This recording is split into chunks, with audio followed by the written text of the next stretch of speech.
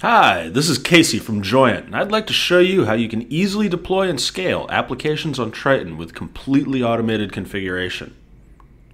I'm going to use an application blueprint from my colleague Tim that demonstrates a Node.js application running with a NoSQL database and Nginx load balancing, all inside Docker containers. You'll see how we can start everything automatically, scale it easily, and it will automatically reconfigure itself as we scale it. Now, there are a few things that we should have prepared before getting started. I already have my Joyent Cloud account, and of course, I have the Docker engine installed on my laptop, and I've got the Joyent Cloud API tools installed as well. Let me show you my Docker configuration.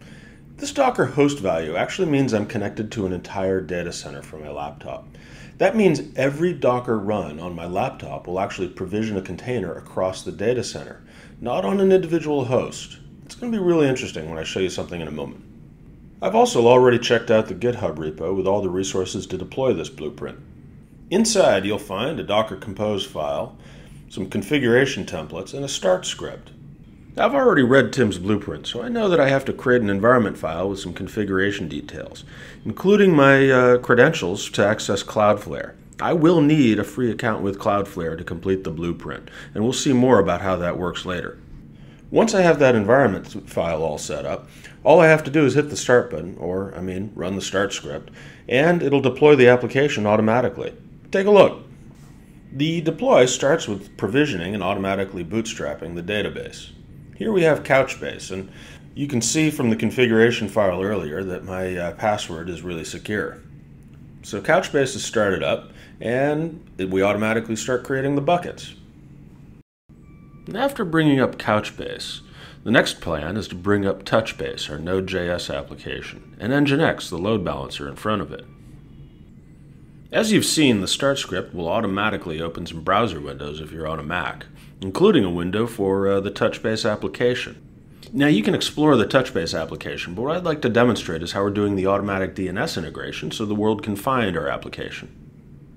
Now, take note of the IP address for the Nginx container that's highlighted here, and also note the Cloudflare container that we created along the way. If we sign into our Cloudflare account and check the DNS, we'll see that IP address for Nginx right there in the dashboard. We've built that automation into every layer of this blueprint. As we scale the application up, you'll be able to see it. The first thing we add is more database nodes. And as you can see in the Couchbase dashboard, those automatically join the cluster for more availability and performance. With the initial scaling complete, we can do a docker compose ps to see all the containers in our app. You'll see that we have two Nginx containers for load balancing, three Touchbase or Node.js application containers, and three Couchbase NoSQL database containers. Those containers exactly match the diagram from the application blueprint, and we deployed and scaled the whole application with just a few commands. Let's take a look now at how everything is automatically self-configured as we scale it. When we reload the Cloudflare dashboard, we'll be able to see both Nginx containers and their IP addresses listed in the DNS there. And if we load that domain in our browser, I'm using a spare domain I happen to have, we'll see that the application is working as expected. And if we look at our Nginx config, we'll also see that all three instances of our Node.js application are listed as backends there. So what we have is a composed application made up of multiple containers that we can deploy automatically. And as we add more containers to scale the application, each service automatically reconfigures itself based on the new topology, the new number of containers in each service. What's more, the application is distributed across multiple physical compute nodes for the best availability and performance. Here I'm using our Cloud API tools to take a look at which physical compute node each container is on. I can extract the compute node from there, and then I can sort and unique them, and I'll see that no two containers are actually on the same node.